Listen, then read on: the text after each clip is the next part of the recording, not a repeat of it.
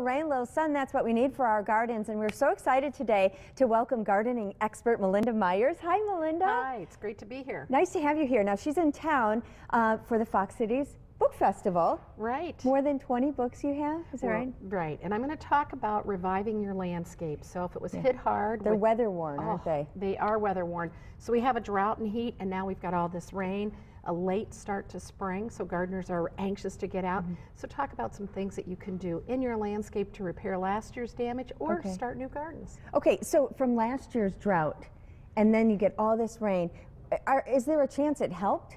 Well, it's definitely not going to hurt. You want to flooding water, standing water is not good, but plants can usually tolerate it for a few days. Okay. So we're just going to have to wait and see. And really, the hardest part is when the soil's wet.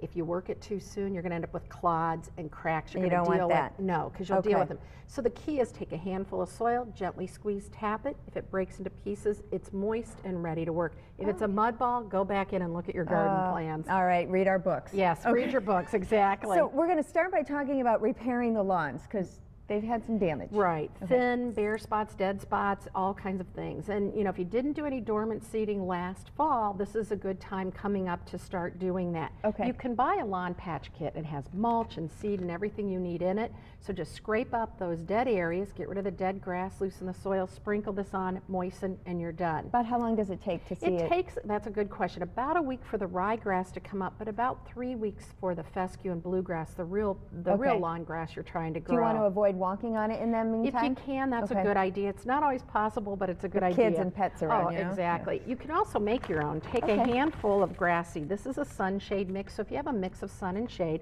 put it in a, a bucket of topsoil. Okay. I just kind of cheated with potting mix here. And you're going to mix it in. And then what you're going to do is sprinkle this over the dead areas, okay? So you're doing the same thing as this, but you're making it yourself. Oh. Scrape up the dead, sprinkle this over, and if you've got larger areas, you want to may want to mulch with straw or marsh hay Yeah. or something weed Doesn't free. look pretty at first, but then No, it will be. Exactly. What are we? We're, we're talking power tools in the garden. I'm so excited. if you um, if you do bulbs, you may see this in the bulb section in the fall. And they're really most of the garden centers are carrying them now. This is an auger bit. You attach it to your cordless drill. And with the perennials, they also took a beating. Maybe they died. Maybe they're thin. Maybe they need a little rejuvenation.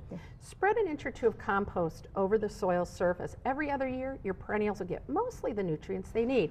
Then you can take your auger bit on your drill and drill holes between your perennials. That will aerate the soil. That's really good with heavy clay, especially, and work some of that compost down. I and there's it. a real sense of satisfaction and accomplishment I know. too. Yes. okay. So now we're we're killing stuff. Oh, you bet. Um, Okay. A lot of people want to go more eco-friendly these days, and I'm one of them as well.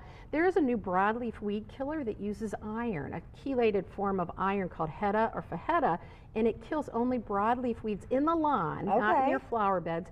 Because, and then if it hits the grass, it just turns dark green because it's a toxicity to the iron that the broadleaf weeds have and plants. So you want to be careful, but not your grass. If you've got so much to learn. quackgrass, perennial weeds Yes, in yeah, your in mhm. your perennial garden. Yep.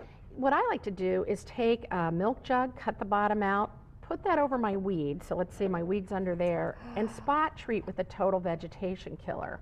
Because you know this will kill your good You- plants yeah, you don't want to do that. as well as your bad plants, so you keep it contained. We're just about out of time, but let's talk about quickly planting some flowers. Yes, cool season plants, pansies, dianthus, nemesia that I have here, put them in a pot. That way you can bring it in on frosty nights or have a little season extending fabric out there. You can cover your plantings. The air, light, and water will go through. It traps the heat. It works great, and it gives you a jump start on the season. Fantastic. I can't wait to get planting. Again, Melinda Myers is in town to give two appearances today at 4. She's at the Gardens of the Fox Cities and tonight at 6:30 at the Neenah Public Library. Come out and see her. For more information, go to our website fox11online.com. Click on Good Day Wisconsin. Thanks, Melinda. Thank you.